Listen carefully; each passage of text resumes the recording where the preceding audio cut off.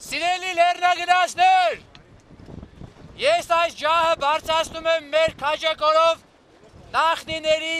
արժանահարկ իշատակին։ Իր ուրխետ նշանաբանով մոտ 35 հայ երեք օրում բարսացել է Արարատ լեռան գագաթ։ Ջահերով վերելքը նվիրված է ցեղասպանության 100-ամյակին եւ Մուսա լեռան ու Սարդարապատի ինքնապաշտպանական մարտերին։ Ինչու հենց ջահերով, որովհետև միշտ ապրիլի 23-ին, 24-ի նախորդին մենք կատարում ենք ջահերով յեր դեպի Ծիծեռնակաբերդի բարձունք։ Ես էլ ճուզեցի անմասն մնանք, քանի որ սա ինչ որ առումով նաև ցեղասպանության 100-րդ ամյակին էր նվիրված։ Հովանեսը պատմում է, որ վերելքի ժամանակ քրդերն ու թուրքերը միմյանց վրա են կրակել, սակայն հայերի խումբը կարողացել է այլ ճանապարհով գագաթ հասնել։ Քրդերը դեմ չեն եղել հայերի լեռնագնացությանը եւ խոչընդոտ չեն ստեղծել։ Առաջին անգամ Արարատ լեռը բարձրացող Կարին Պարային համույթն էլ ամբողջ ճանապարհը զարդարել է հայկական պարով։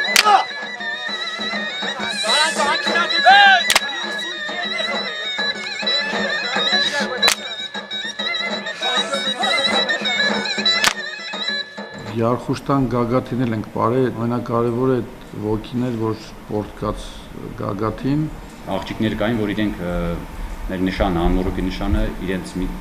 կպցրեցին իրենց վրա, միացան մեր բարին։ Արարատ լեռան վրա են եղել նաև թուրքեր, որոնք իմացել են հայերի նկատմամբ Օսմանյան կայսրության ոչռագործության մասին, ով էլ տեղյակ չի եղել հայ լեռնագնացները մանրամասն ներկայացրել են։ Ես նույնիսկ Իրանից մարդկանց հանդիպեցի, ես իրանց ասեցի, որ ուղղակի ինչ որ մի կարճ ժամանակ ես արա իրանց հողում է, բնականաբար հետո էլ սայլի մերը կդառնա։ Ջահերով վերելքի նպատակը խմբի անդամների խոսքով պատմական արդարության վերականգնումն է։ Բացի վերելքից խումբը այցելել է նաև Արևմտյան Հայաստանի Կարս, Անի եւ Վան քաղաքներ։ Արամ Արարատյան, Վարդան Մկրտումյան, Էպիկենտրոն